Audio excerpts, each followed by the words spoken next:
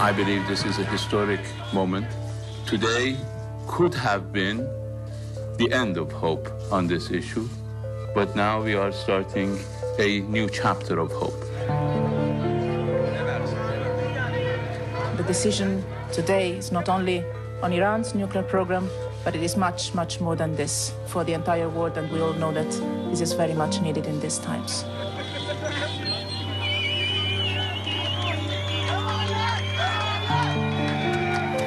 Nach zwölf Jahren schwieriger Verhandlungen haben sich am 14. Juli 2015 Iran und die internationale Gemeinschaft geeinigt. Teheran akzeptiert die Kontrollmechanismen für sein Atomprogramm. Im Gegenzug sollen die Sanktionen aufgehoben werden, die die iranische Wirtschaft seit Jahren schwächen. Iran steht im Mittelpunkt der Konflikte im Nahen Osten. Das Atomabkommen wird nicht nur die Situation im eigenen Land verändern, sondern auch die Beziehungen zum Rest der Welt. In der Innenpolitik sowie in den diplomatischen und wirtschaftlichen Beziehungen werden die Karten neu gemischt. Der Erfolg des Abkommens ist noch ungewiss, denn es betrifft nicht nur Iran, sondern die gesamte Region sowie Amerika und Europa. Es betrifft uns alle.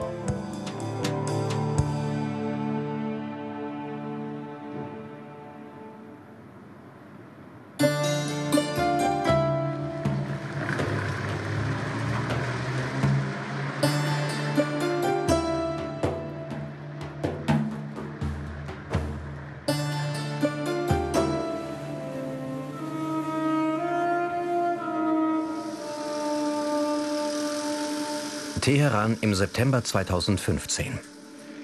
Seit der Unterzeichnung des Atomabkommens am 14. Juli hat sich nichts verändert. Keine der erdrückenden Wirtschaftssanktionen wurde aufgehoben. Das wird noch einige Monate dauern. Die Umsetzung der von Iran und der internationalen Gemeinschaft beschlossenen Maßnahmen der Wiener Vereinbarung geschieht nicht von heute auf morgen. Der Aufschwung der iranischen Wirtschaft wird Zeit brauchen, viel Zeit. Die jahrelangen Wirtschaftssanktionen und die Misswirtschaft haben das Land geschwächt. 40 Prozent der Bevölkerung leben heute unter der Armutsgrenze. Offiziell liegt die Arbeitslosenquote bei 11 Prozent. Tatsächlich sollen es 30 Prozent sein. Iran ist am Ende. In die ungerechtfertigten Wirtschaftssanktionen in den letzten zwölf Jahren haben dem Land genauso viel Schaden zugefügt wie der Iran-Irak-Krieg. Unsere Wirtschaft hat darunter gelitten, unser Wachstum. Wir konnten unser Land nicht weiterentwickeln und die Menschen mussten viele Opfer bringen.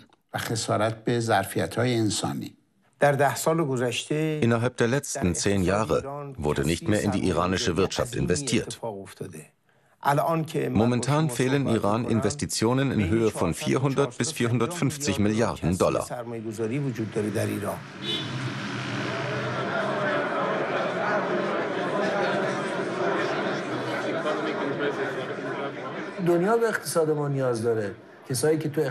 Die Welt braucht die iranische Wirtschaft. Alle, die im Energiesektor, in der Landwirtschaft und in der Industrie tätig sind, haben in all diesen Jahren mit Sorge beobachtet, wie die Sanktionen unsere Wirtschaft gelähmt haben.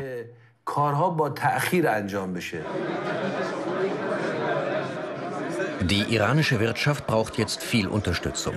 Das wissen auch die Minister und Unternehmer aus ganz Europa, die umgehend nach Teheran reisen. In Erwartung der Aufhebung der Sanktionen wollen sie schon jetzt wichtige Kontakte knüpfen.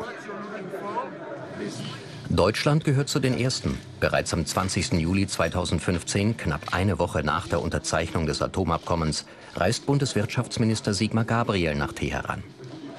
Das Interesse der deutschen Wirtschaft und auch der iranischen Wirtschaft an der Wiederbelebung der Zusammenarbeit ist groß. Die Vorteile werden auf beiden Seiten liegen. Deutschland möchte so schnell wie möglich wieder erster Wirtschaftspartner Irans werden, so wie vor der Verhängung der Sanktionen. Ende September kommen dann die Franzosen.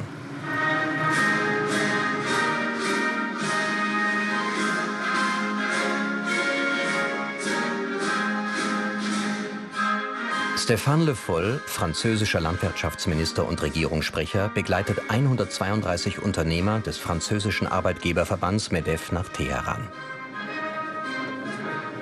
Wer auf dem zukünftigen iranischen Markt Fuß fassen will, darf mit Lob nicht geizen.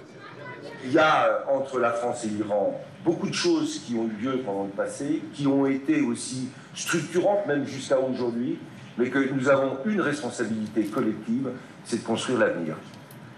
Il y a donc beaucoup de choses à faire ensemble, travailler dans le respect euh, euh, qui vous est dû, dans le respect euh, aussi d'une grande culture dont témoigne le prestige dans notre pays de vos œuvres, de votre création et en particulier de votre poésie.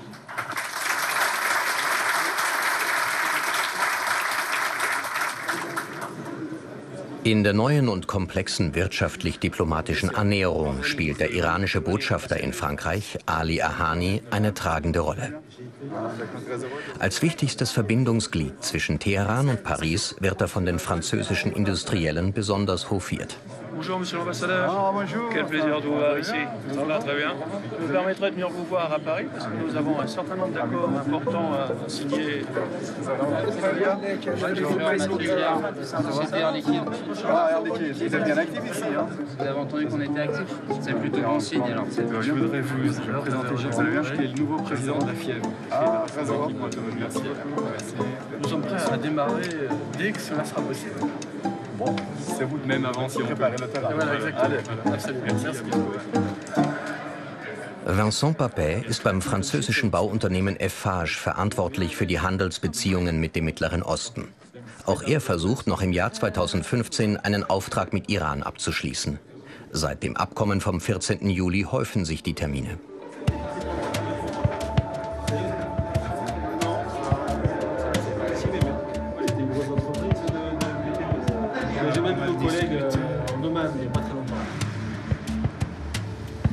Im Dezember 2013 flog Vincent Papet das erste Mal nach Teheran. Mit Unterstützung eines iranischen Geschäftspartners versucht er seitdem, sich einen Weg durch die komplexe Bürokratie zu bahnen. Ein schwieriges Unterfangen. Denn Eiffage ist neu auf dem iranischen Markt. Vor der Verhängung der Sanktionen hatte das Unternehmen keine Geschäftsbeziehungen im Land. Ich werde mit meinem Partner vor Ort einen Aktionsplan erstellen. Wir hatten auf staatlicher und privater Ebene schon einige Gesprächstermine und konnten vier oder fünf Projekte ausarbeiten. Mein Partner vor Ort soll jetzt darauf achten, dass die Projekte von der Regierung als prioritär eingestuft werden. In vier bis fünf Wochen werden wir ein Debriefing machen. Wir haben noch Zeit, aber wir müssen trotz allem schnell sein, damit andere uns nicht zuvorkommen.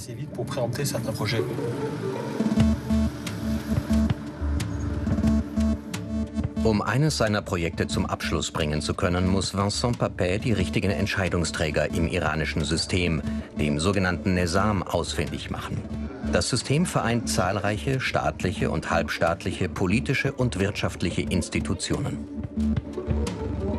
65 bis 70 Prozent der iranischen Wirtschaft sind Teil des öffentlichen Sektors. Wichtige Bereiche der iranischen Wirtschaft unterliegen der Kontrolle des Staates, der Kontrolle paramilitärischer Institutionen oder Stiftungen.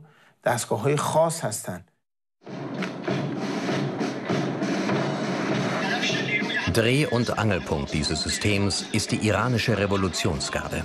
Sie wurde 1979 gegründet und hat sich seit der Entstehung der Islamischen Republik zur mächtigsten militärischen Organisation entwickelt. Die Revolutionsgarde ist für den Schutz des Regimes zuständig. Ein Staat im Staat. Nach dem Iran-Irak-Krieg von 1980 bis 1988 breitet sich die Revolutionsgarde, auch Pastaran genannt, in allen Schlüsselpositionen der Wirtschaft aus. Dieses Phänomen verstärkt sich in den 2000er Jahren, als die ausländischen Firmen infolge der internationalen Sanktionen das Land verlassen müssen. In Erwartung der Aufhebung der Sanktionen versucht die Regierung jetzt, den Einfluss der Pastaran einzuschränken, um ausländische Investoren anzuziehen. Sie müssen sich nach und nach zurückziehen. Wir achten darauf, keine neuen Verträge mehr mit staatlichen Institutionen abzuschließen. Das betrifft sowohl die Militärs wie auch die staatlichen Unternehmen. Wir möchten die privaten Unternehmen fördern. Das ist unsere Priorität. Ich weiß nicht, wie wir momentan ganz auf sie verzichten sollen. Denn die Eigentumsverhältnisse in den Unternehmen sind in Iran sehr kompliziert. Aber wir können versuchen, den Privatsektor in Zukunft zunehmend zu stärken. So wird der Einfluss der halbstaatlichen Institutionen auf die iranische Wirtschaft nach und nach abnehmen. Das ist meiner Meinung nach die beste Lösung.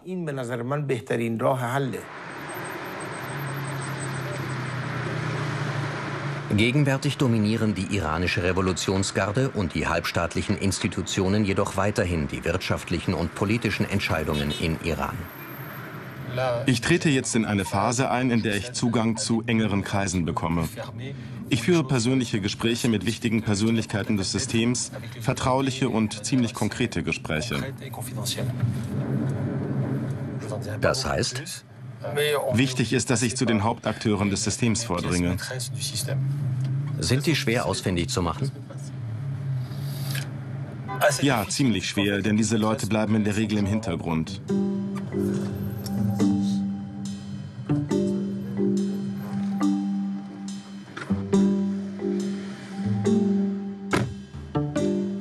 Vincent Papet begibt sich zu einem vertraulichen Treffen mit einem dieser Hauptakteure. Ein ehemaliges Mitglied der iranischen Revolutionsgarde, der in den 1980er Jahren im Irakkrieg gekämpft hat. Heute ist er einer der wichtigsten Experten für Stadtentwicklung und Transportwesen. Er soll dem französischen Unternehmer helfen, auf dem iranischen Markt Fuß zu fassen. War das Treffen erfolgreich? Ja, ich konnte mit einigen wichtigen Vertretern sprechen. Wir haben bereits über konkrete Projekte gesprochen. Jetzt müssen wir reagieren. Die Iraner haben uns ihr Vertrauen entgegengebracht. Jetzt müssen wir zeigen, dass wir dieses Vertrauen verdient haben.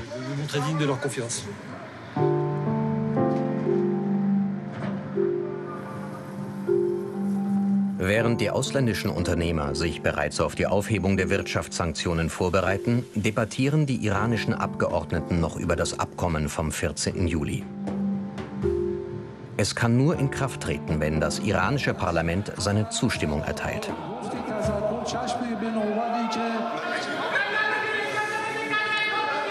تحریک وندی شرمن دیرو اعلام کرده که تمام خواسته های آمریکا رو تأمین میکنه اقتصادی فرهنگی و امنیتی رایگیری مشارکت بفرمایید پایان رایگیری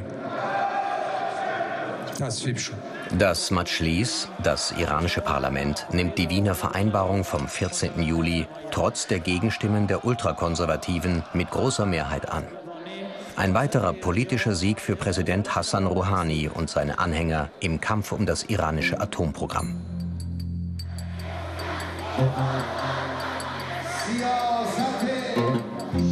Juni 2013 kandidierte Rouhani das erste Mal bei der Präsidentschaftswahl. Der Abschluss des Atomabkommens war eines der wichtigsten Wahlversprechen des als moderat geltenden konservativen Politikers. Die Iraner haben ihm vertraut und ihn gleich im ersten Wahlgang gewählt. Die Wähler haben dafür gestimmt, dass Probleme durch Verhandlungen gelöst werden. Die Iraner sind nicht bereit, in einen Konflikt mit dem Rest der Welt, allen voran den Vereinigten Staaten, zu treten. Denn derartige Konflikte würden der Politik und den Interessen des Landes schaden. Hassan Rouhani hat eine geradlinige Karriere innerhalb des Regimes gemacht. Als Vertrauter von Ayatollah Khomeini, dem Gründer der Islamischen Republik, wird er 1980 zum ersten Mal ins Parlament gewählt. Später ist er lange Zeit Sekretär des Nationalen Sicherheitsrats. 2003 wird er zum Chefunterhändler für die Verhandlungen über das iranische Atomprogramm ernannt. Bevor der Pragmatiker Rouhani für das Amt des Präsidenten kandidiert, versichert er sich, dass der oberste Religionsführer Ayatollah Khamenei ihn die Verhandlungen weiterführen lässt. Iran ist eine Theokratie. Der oberste Religionsführer, der auf Lebenszeit gewählt wird, hat die Macht im Land. Seine religiöse Legitimität steht über der politischen Legitimität des Präsidenten. Iran war schließlich zu Verhandlungen bereit. Warum? Ich bin davon überzeugt, dass die Sanktionen die Iraner dazu getrieben haben. Sanktionen sind sicher nicht immer der richtige Weg, aber in diesem Fall haben sie den Lebensstandard der Iraner so stark beeinträchtigt, dass etwas passieren musste. Die Wahl von Präsident Rouhani hat die Dinge dann ins Rollen gebracht.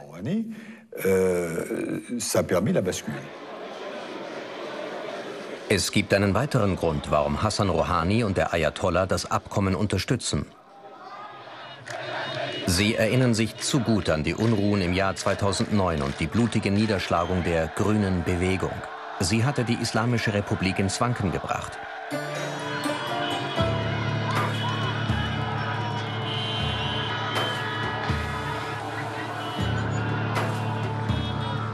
Nach der umstrittenen Wiederwahl des ultrakonservativen Präsidenten Mahmoud Ahmadinejad im Juni 2009 gehen die Iraner auf die Straße und verlangen die Annullierung der Wahl.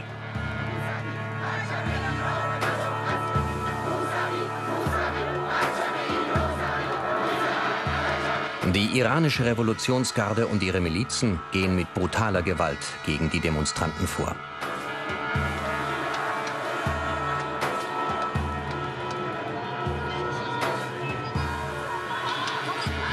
Die Philosophiestudentin Neda wird bei dem Einsatz getötet. Ihr Tod, von einer Handykamera gefilmt, geht um die Welt.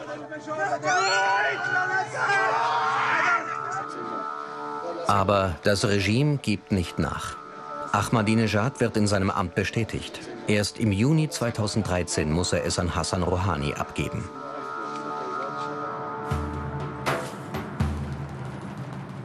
Jetzt fürchtet die iranische Regierung, die wirtschaftliche und soziale Krise, unter der das Land seit zehn Jahren leidet, könne neue Unruhen heraufbeschwören.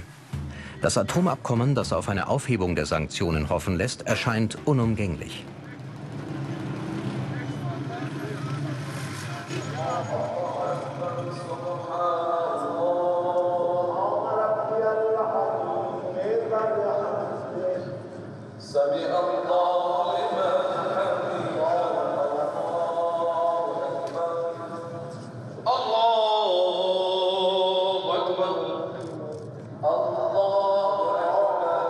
Doch der augenscheinliche Konsens in der Staatsführung hat Grenzen.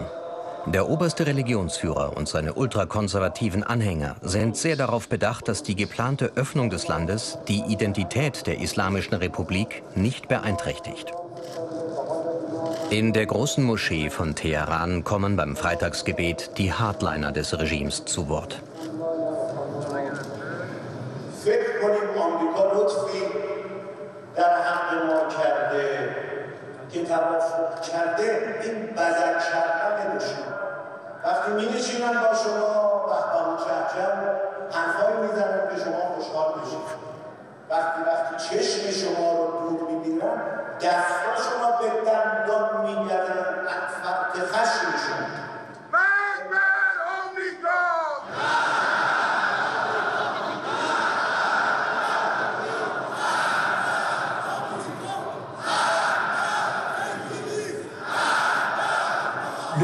Der oberste Religionsführer hat die Aufgabe, die Islamische Republik und deren Grundwerte zu verteidigen. Dazu gehört auch der Widerstand gegen den amerikanischen Imperialismus. Er weiß aber auch, und das ist beim Abkommen vom 14. Juli der Fall, dass er manchmal im Interesse des Landes Kompromisse eingehen muss. Mit dem Atomabkommen öffnet das Land seine Tür ein wenig, aber nur unter bestimmten Bedingungen. Die Aufgabe des Ayatollah ist es, diese Bedingungen zu verteidigen.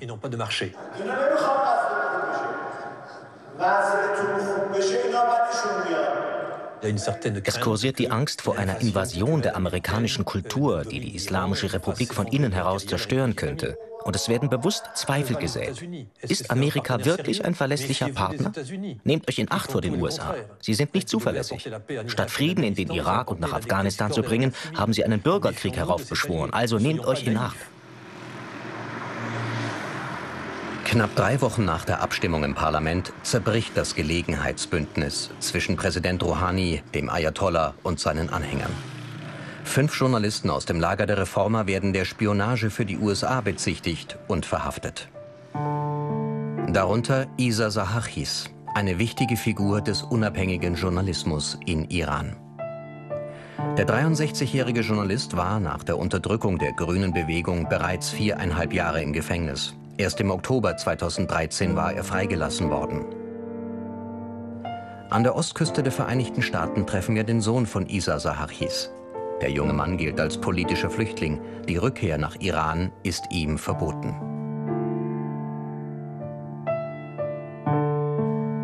Es berührt mich sehr, meinen Vater auf dem Bildschirm zu sehen. Wir haben uns seit zwölf oder 13 Jahren nicht mehr gesehen. Ich habe mit meiner Familie telefoniert. Sie haben mir gesagt, dass er vor zwei Tagen in den Hungerstreik getreten ist. Er nimmt seine Medikamente nicht und er isst nichts mehr. Er hat der Familie gesagt, entweder ihr müsst mich im Krankenhaus oder im Leichenschauhaus besuchen. Er wird nur freigelassen werden, wenn er Dinge gesteht, die er gar nicht getan hat.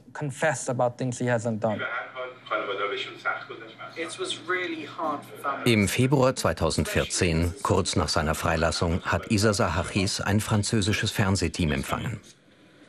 Wohl wissend, dass allein die Tatsache, öffentlich seine Meinung zu sagen, ihn in große Gefahr bringt. Schon bevor ich ins Gefängnis kam, habe ich immer gesagt, ich lebe bereits in einem großen Gefängnis namens Iran, denn ich konnte das Land nicht verlassen. Aber ich kann Artikel auf Facebook veröffentlichen und Interviews geben. Ich weiß aber auch, dass ich überwacht werde und dass alle meine Aktionen festgehalten werden. Die Sicherheitsbeamten können jederzeit wiederkommen und mich in meiner Wohnung festnehmen, mich vor Gericht stellen und ins Gefängnis bringen.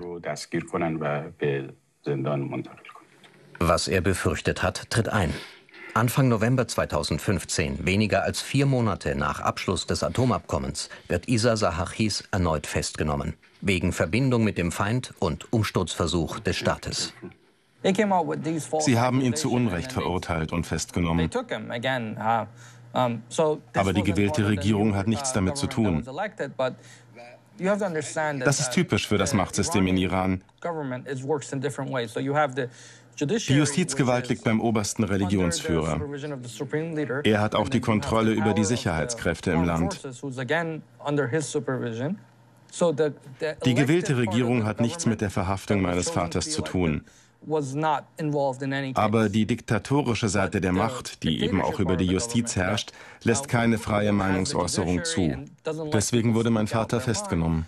Kein Journalist wird festgenommen, nur weil er seine Arbeit macht. Doch es gibt einige Journalisten, und ich möchte keine Namen nennen, die eine Gefahr für die innere Sicherheit darstellen, weil sie Kontakte zu gefährlichen Individuen pflegen. Die politischen Aktivitäten von Isa Sahachis sind nicht anders als meine politischen Aktivitäten oder die eines jeden anderen engagierten Bürgers. Sie stellen für niemanden eine Gefahr dar. Wir wissen nicht mehr oder wir sagen nicht mehr als das, was man sagt, wenn man sich mit einem Fremden im Taxi unterhält. Seit die Öffnung möglich geworden ist, gibt es eine sehr starke soziale Kontrolle im Iran. Bis vor einiger Zeit war die Öffnung nur ein frommer Wunsch. Aber jetzt ist es soweit. Und all diejenigen, die aus ideologischen Gründen gegen diese Öffnung sind, gegen die intellektuelle Freiheit und gegen die Freiheit der Frauen, all diejenigen warnen vor der bevorstehenden Gefahr. Sie wissen, dass sich die Realität Ihres Landes durch die Öffnung in zwei bis drei Jahren verändern wird. Deswegen versuchen Sie schon jetzt, bestimmte Dinge zu blockieren.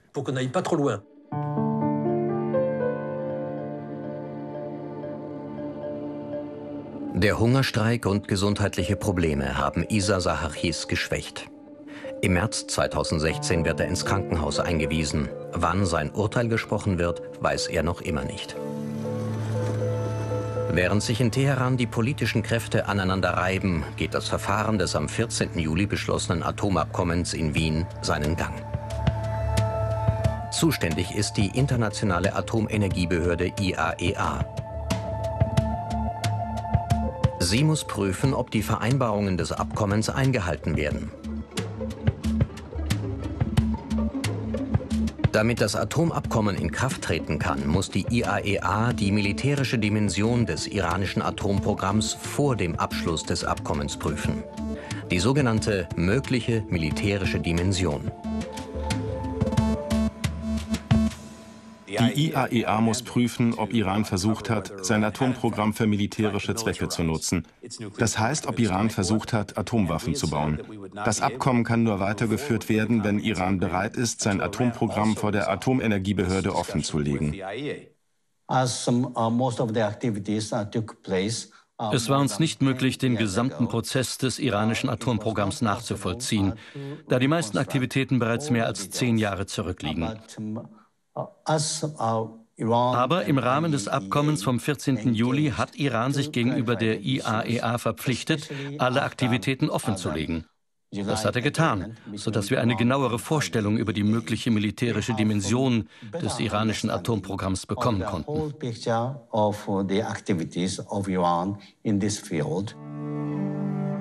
Am 2. Dezember 2015 legt die Internationale Atomenergiebehörde ihren Abschlussbericht über die Aktivitäten in den iranischen Kernkraftwerken vor.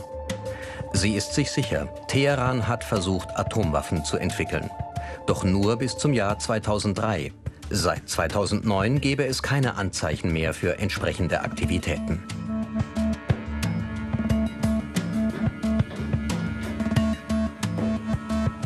Der Bericht ist eine Premiere und für die internationale Gemeinschaft der Beweis dafür, dass Iran versucht hat, Atomwaffen zu bauen, obwohl er dies immer geleugnet hat.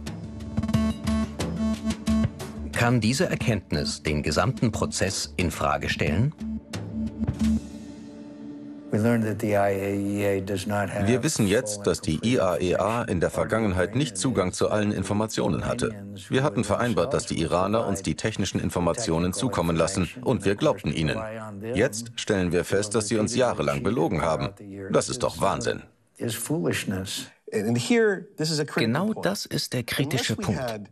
Wenn wir nicht hundertprozentig wissen, was die Iraner bisher getan haben, können wir nicht sicher sein, dass sie die Vereinbarung in Zukunft respektieren. Solange wir nicht genau wissen, wie weit sie bisher gekommen sind, können wir nicht abschätzen, was ihnen noch fehlt, um Atomwaffen zu bauen. Die Diplomaten der 5 plus 1 Gruppe, die fünf UNO-Vetomächte plus Deutschland, die das Abkommen ausgehandelt haben, sind sich in Wien einig. Diese Erkenntnis der IAEA e dürfe das Abkommen vom 14. Juli nicht beeinträchtigen. Denn dabei geht es um die Kontrolle des iranischen Atomprogramms in der Zukunft. Wir haben dem Abkommen vertraut und wir vertrauen ihm weiterhin. Warum? weil es sich um das strengste, verbindlichste und gleichzeitig transparenteste Abkommen in der Geschichte der Waffenkontrolle handelt. Wir haben bestimmte Vorsichtsmaßnahmen getroffen, allen voran den sogenannten Snapback-Mechanismus. Dieser sieht die Möglichkeit einer erneuten Verhängung der ausgesetzten Sanktionen vor, wenn das Abkommen signifikant verletzt wird.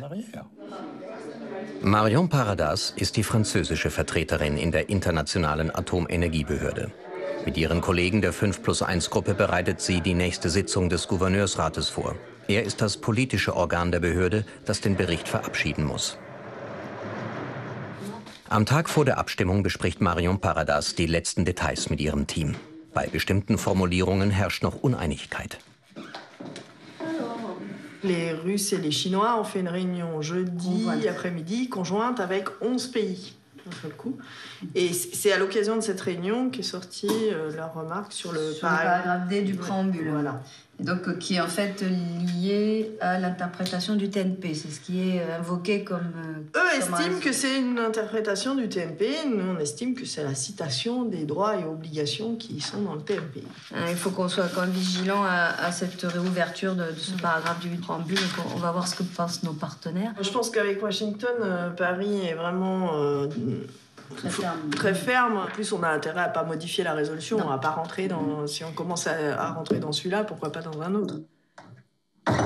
Frankreich und die USA sind sich einig. Der Atomwaffensperrvertrag muss als solcher bestehen bleiben. Er bildet den allgemeinen Rahmen des Atomabkommens mit Iran. Würde er in Frage gestellt, könnte dies das gesamte Verfahren gefährden.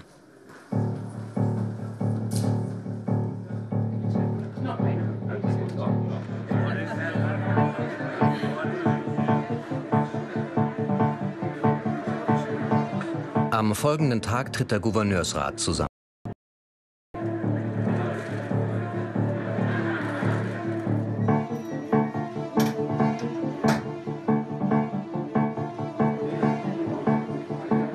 Nach stundenlangen Verhandlungen ist es geschafft. Der Gouverneursrat nimmt den Bericht der IAEA e einstimmig an.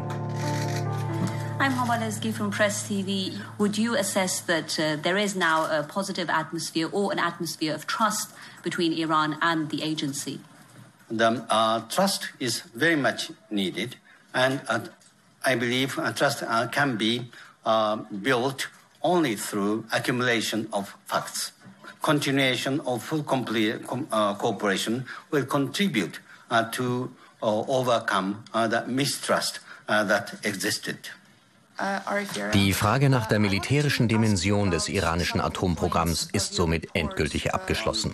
Jetzt geht es um die Zukunft. Die IAEA e muss prüfen, ob Teheran die Auflagen des Wiener Abkommens erfüllt. Wenn ja, kann die internationale Gemeinschaft die Sanktionen gegen Iran aufheben.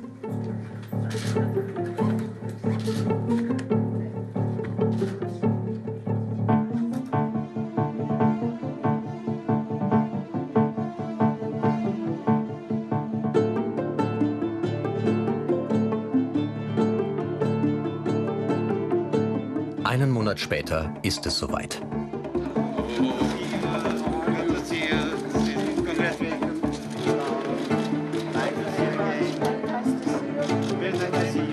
Die Zentrifugen zur Urananreicherung werden verringert, die Bestände von angereichertem Uran reduziert. Der Schwerwasserreaktor Erak wird zu einem Forschungsreaktor umgebaut. Die IAEA e bestätigt, Iran hat alle Auflagen erfüllt.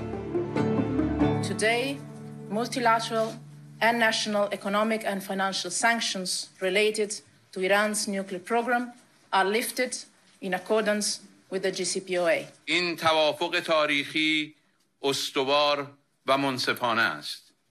خواست همه خواستهای همه را تأمین می کند و اجرای مناسب آن گامی کلیدی در کمک به بهبود صلح، ثبات و امنیت منطقه‌ای و بین المللی خواهد بود. Mit der Aufhebung der Sanktionen bekommt Teheran auch wieder Zugriff auf einen Teil seiner im Ausland eingefrorenen Guthaben. Von den 90 Milliarden Euro wird Iran 27 Milliarden wieder seiner Wirtschaft zuführen können. Iran ist bereit für die Öffnung und die Bevölkerung verspricht sich einiges davon.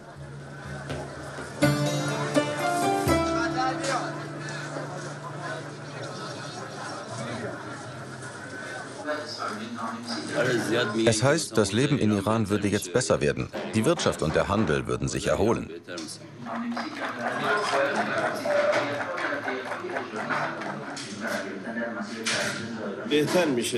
Wir werden mehr Möglichkeiten haben, vor allem auf dem Arbeitsmarkt. Wir haben große Probleme mit der Arbeitslosigkeit. Da wird sich einiges verbessern. Unsere Kinder werden eine bessere Zukunft haben.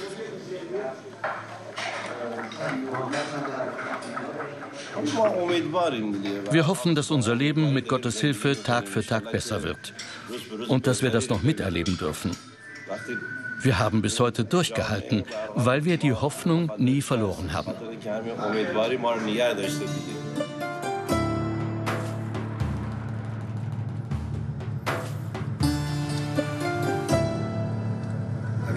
Man spürt schon jetzt die Auswirkung der Aufhebung der Sanktionen. Ab nächster Woche sind alle großen Hotels ausgebucht. Die drei oder vier großen Hotels der Stadt waren sofort belegt, mit Vertretern ausländischer Delegationen aus aller Welt. Auf diesen Tag haben wir gewartet. Jetzt können wir konkretere Entscheidungen treffen und potenzielle Partner kontaktieren. Bis die großen Infrastrukturinvestitionen umgesetzt werden können, wird es noch dauern, denn die Investitionsfonds sind noch nicht vollständig ausgearbeitet. Bis alles bereit ist, werden noch einige Monate ins Land gehen. Es entsteht ein neues System, mit dem weder wir noch die Iraner vertraut sind, das wir jetzt zum Laufen bringen müssen. Das Bankensystem muss neu organisiert werden, die Handelsbeziehungen, aber auch die menschlichen Beziehungen. In Iran leben nur 2000 Ausländer aus dem Westen. Allein in London leben heute 300.000 Franzosen. Die Menschen müssen sich erst einmal annähern. Vincent Papet und sein iranischer Partner haben bereits vor der Aufhebung der Sanktionen verschiedene Projekte ausgearbeitet. Oberste Priorität hat ein strategisch wichtiges Vorhaben für die Zukunft des Landes, der Ausbau des Hafens von Jask, ein Erdölhafen am Eingang des Persischen Golfs.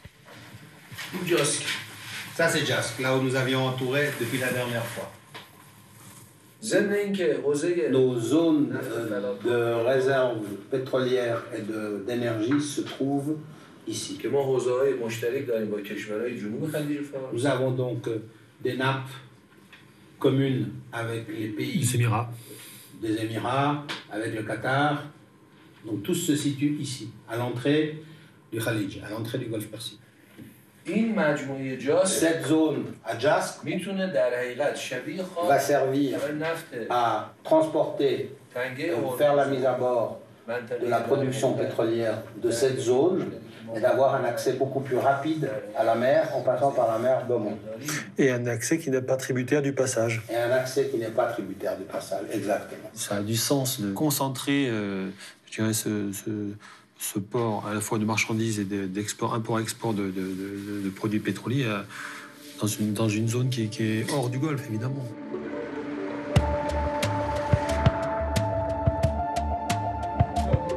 Die Unterzeichnung des Vertrags über den Ausbau des Hafens von Jask wird Zeit brauchen. Die Verhandlungen laufen schon einige Zeit, aber Vincent Papet weiß, dass eine Entscheidung noch Monate dauern wird.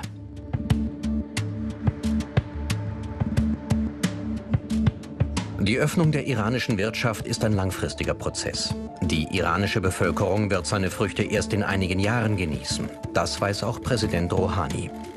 Die Parlamentswahlen im Februar 2016 sind deshalb für ihn besonders wichtig. Er braucht Unterstützung für seine Reformpolitik, die seine Gegner unbedingt verhindern wollen.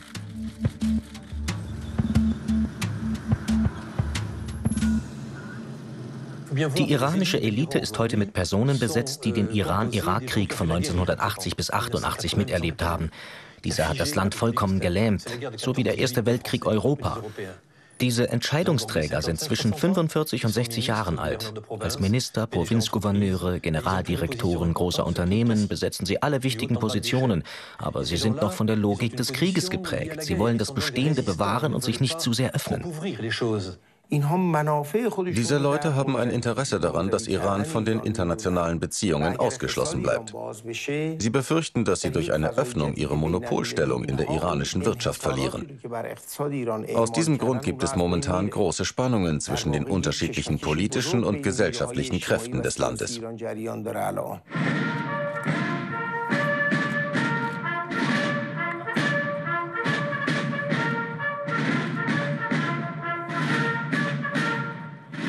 Vor den Wahlen im Februar versucht Hassan Rouhani alles, um die Wähler für sich zu gewinnen. Zwei Wochen vor Aufhebung der Sanktionen fährt er nach Paris. Ein symbolischer Besuch. Der erste Besuch des iranischen Präsidenten bei einem Verhandlungspartner des Atomabkommens. Der Besuch hat aber auch große politische Bedeutung. Der iranische Präsident muss seinem Volk und dem Rest der Welt zeigen, dass die Öffnung Irans nicht mehr rückgängig zu machen ist. Cela faisait 17 ans, 17 ans qu'un président iranien n'était pas venu ici en France. C'est donc un nouveau chapitre de nos relations qui s'ouvre aujourd'hui. Dès lors que l'accord avec l'Iran a été trouvé, que les sanctions ont été levées, il ne faut pas perdre de temps, il faut agir vite. هدف ما از این روابط سرمایه گذاری در ایران اشتغال برای جوانان ما به ویژه فارغ التحصیلان دانشگاه ها و به دست آوردن بازار مشترک برای دو طرف و در نهایت به نفع دو ملت و دو کشور.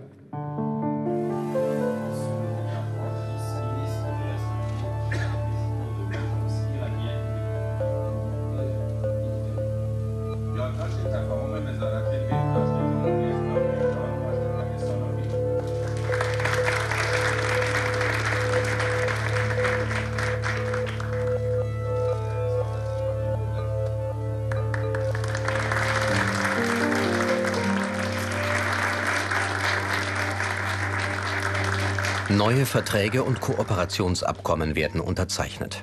Auf wirtschaftlicher Ebene ist Rouhanis Besuch in Paris ein voller Erfolg.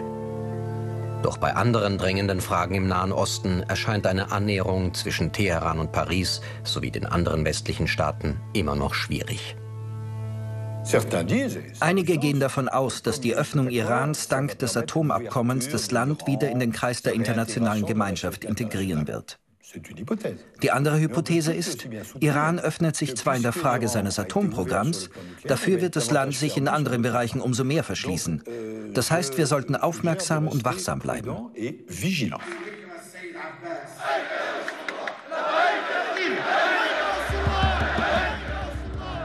Iran unterstützt die Hisbollah im Libanon sowie die schiitische Houthi-Minderheit im Jemen und ist im gesamten Nahen Osten ein scharfer Konkurrent Saudi-Arabiens. Das heißt, Iran verteidigt Interessen, die denen der westlichen Länder und deren Alliierten widersprechen.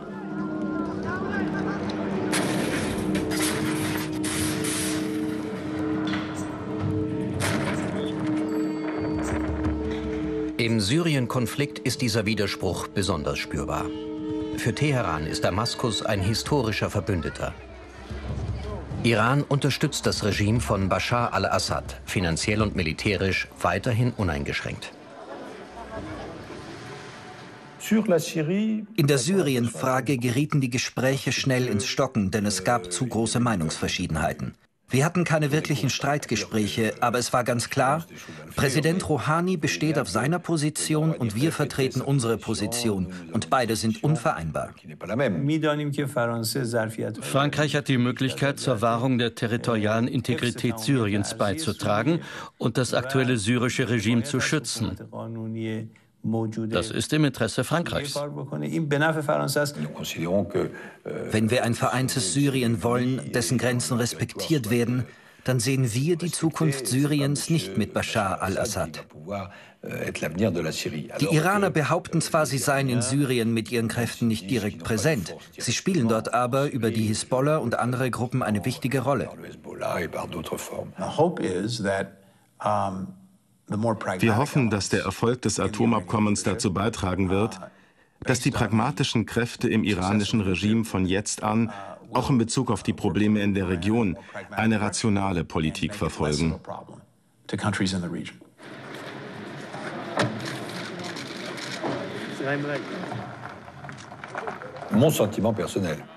Ich habe mich lange mit Außenminister Sarif unterhalten und habe ihn als sehr offen erlebt. Er tritt für Reformen und eine Öffnung Irans nach außen ein. Aber es gibt auch andere Positionen im Land. Präsident Rouhani und Außenminister Sarif können uns nicht einfach vorschreiben, wo es langgeht.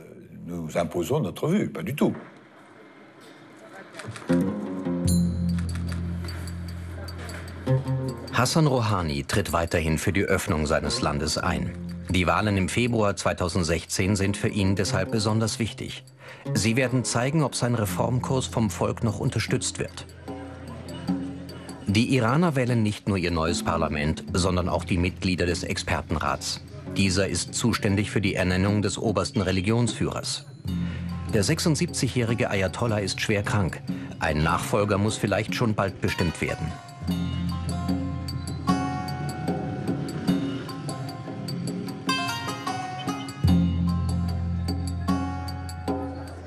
Parlamentswahlen im Februar sind für Hassan Rouhani ein Gradmesser für die kommenden Präsidentschaftswahlen im Juni 2017.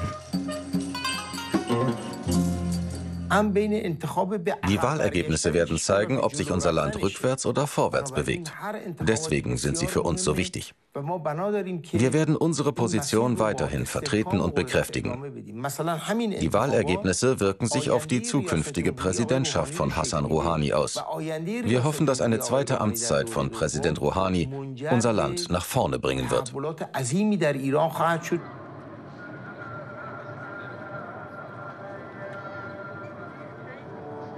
Qom, eine der Hochburgen der konservativen Strömungen, die gegen Rouhanis Politik antreten. Qom hat eine Million Einwohner und liegt 150 Kilometer von Teheran entfernt. Sie ist eine der heiligen Städte der Schiiten in Iran. Fast 90 Prozent der iranischen Bevölkerung sind Schiiten. Hier in Qom hat Ayatollah Khomeini, der Gründer der Islamischen Republik, gelehrt. Hier hat er in den 1960er Jahren den Kampf gegen das Schah-Regime initiiert. Vor den Wahlen im Februar stehen hier alle hinter dem obersten Führer Ayatollah Khamenei. Das Wiener Abkommen vom 14. Juli wird als Verrat empfunden, als eine Falle der Vereinigten Staaten und ihrer Alliierten, um Iran zu schwächen.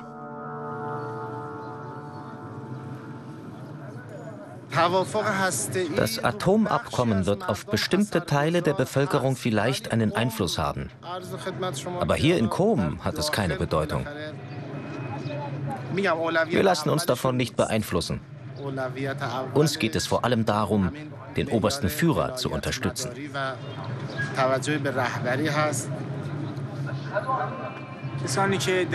Ich habe kein Vertrauen in die Leute, die in dieser Frage falsche Entscheidungen getroffen haben. Sie haben versucht, unser Land zu schwächen. Das lehne ich ab. Es widerspricht dem Koran.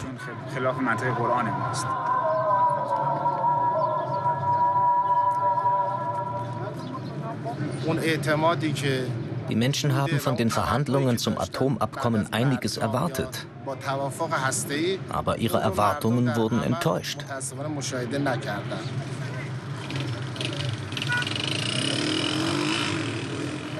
Qom vor der Wahl.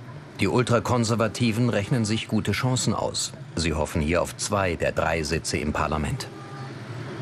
Mullah Mojtaba Solnur ist einer der Kandidaten. Im Jahr 2012 bekam er nicht genug Stimmen. Dieses Jahr will er noch einmal antreten.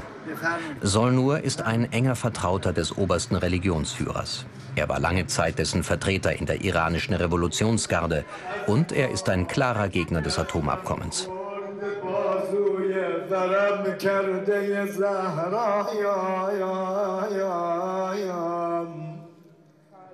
قربون مظلومیت علی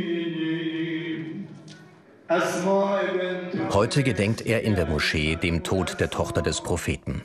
Die religiöse Zeremonie enthält vier Tage vor der Wahl auch eine politische Botschaft. Der Mullah erinnert seine Anhänger vor westlicher Kamera daran, dass nicht alle den Reformkurs von Präsident Rouhani unterstützen.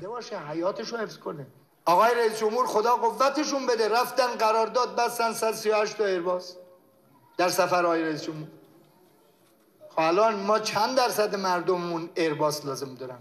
نیاز داریم. ناوگان حمل و نقلمون در بداغونه ولی حدود چل درصد مردم ما زیر خط فقرن. اولویت اول ما امروز کدومه؟ قرارداد گوجه فرنگی ببندیم. مقام معظم رهبری چند وقت پیش فرمودن. فرمودن وقتی آدم فکر می‌کنه ببین که میوه کشور می‌خواد از خارج بیاد آدم شرم می‌کنه شرمش میاد. Bekommen Sie jetzt ein neues Auto? Präsident Rouhani hat in Frankreich neue Autos für Iran gekauft. Sehr gute, moderne Autos mit moderner Ausstattung. Die hat er, Gott sei gelobt, nach Iran gebracht. Das sind gute Neuigkeiten? Ja. Den Reformkurs von Präsident Rouhani lehnt der Mullah zwar ab, die neuen französischen Autos auf dem iranischen Markt aber begrüßt er. Seine Haltung spiegelt die Zerrissenheit vieler Iraner im Hinblick auf die Öffnung wider. Sie ist erwünscht, weil nur sie die Wirtschaft ankurbeln kann. Sie ist aber auch gefürchtet, weil sie die Gefahr fremder Einflüsse mit sich bringt. Dieser Widerspruch zeigt sich vor allem in Zeiten des Wahlkampfs. Auch in der Haltung gegenüber westlichen Journalisten, dem Sinnbild der Subversion.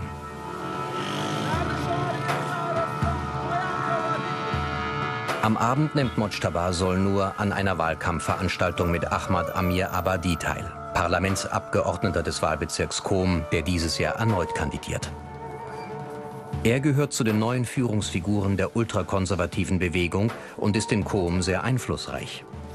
Kurz vor Beginn der Veranstaltung schließen sich die Türen für uns, als könne die alleinige Anwesenheit einer westlichen Kamera Kandidaten und Wähler beeinflussen. Warum können wir in der Moschee nicht filmen? Amir Abadi möchte das nicht. Auch wenn Soll nur Ja sagt, Amir Abadi will es nicht. Warum? Die Verantwortlichen befürchten, dass ihre Anwesenheit sich negativ auf ihre Kandidatur auswirken könnte. Deswegen dürfen sie nicht rein. Ohne Kamera dürfen sie rein in die Moschee. Sie dürfen sogar beten.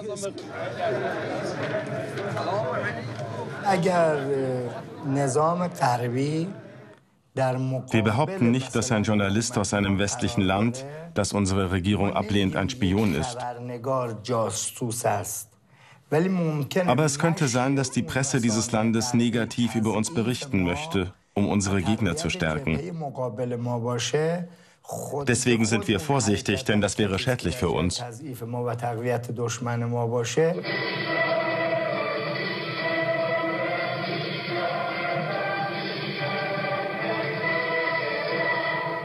دشمنا بفهمن که ما محکم و خود وایستادیم باعث استقلال کشور بشن باج به بیگانگان ندن آیت الله خامنه ای سپس در سخنان انتخابات رو هم وظیفه و هم حق ملت خواندن Am 26. Februar 2016 haben 33 Millionen Iraner, fast 60 Prozent der Wahlberechtigten, ihr neues Parlament und die Mitglieder des Expertenrats gewählt. In Qom haben die Unterstützer des Religionsführers wie Mullah Mojtaba Solnur gewonnen. In Teheran aber triumphieren die Anhänger von Hassan Rouhani. Sie holen zur allgemeinen Überraschung alle 30 Parlamentssitze für die Hauptstadt. Die Journalisten der reformorientierten Tageszeitung Scharch bewerten den Sieg des Präsidenten als möglichen Wendepunkt im aktuellen Kampf der politischen Lager. Das Ergebnis ist für viele tatsächlich eine große Überraschung. Selbst äußerst optimistische Beobachter der Reformer haben nicht geglaubt, dass es in Teheran zu einem so klaren Ergebnis kommen würde. Auf der Liste der Reformer standen keine großen Namen. Es traten keine bekannten Persönlichkeiten zur Wahl an. Trotzdem haben die Reformer die Wahl gewonnen. Dahinter steckt eine klare Botschaft. Sie zeigt, dass die Wähler mit den bisherigen Abgeordneten unzufrieden sind. Sie wollen, dass neue Abgeordnete ins Parlament einziehen und dass diese eine bessere Arbeit machen.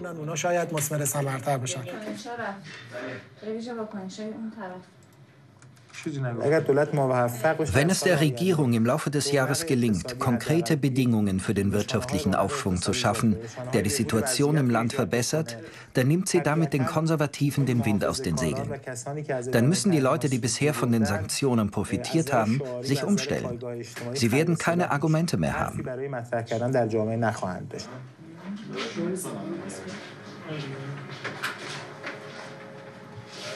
عکس کنار لوگارم بذار ببینم چجوری میشه. اسلش بزن. یه اسلش بزن یه اسلش بزن رو همون رو بالا رو. بعد بزنیم فهرست امید. تمام فهرست امید رعیان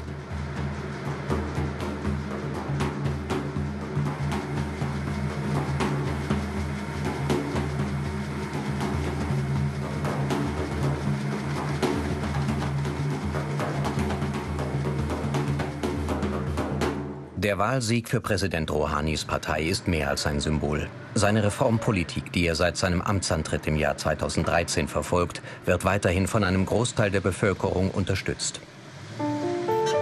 Die Wahlen haben auch gezeigt, dass mehr Ruhe eingekehrt ist in der iranischen Bevölkerung. Sie gingen ohne Proteste und ohne Gewalt vonstatten. Das politische Gleichgewicht in der Islamischen Republik ist näher ans Zentrum gerückt. Doch der Schritt zurück ist immer noch möglich. Eine anhaltende Wirtschaftskrise, der Syrienkrieg, ungelöste Spannungen mit Saudi-Arabien, der Einzug eines republikanischen Präsidenten ins Weiße Haus Ende 2016. Es gibt zahlreiche Faktoren, die zu einem erneuten Erstarken der ultrakonservativen Kräfte in Iran führen könnten und damit zu einer Verschlechterung der Beziehungen mit der westlichen Welt.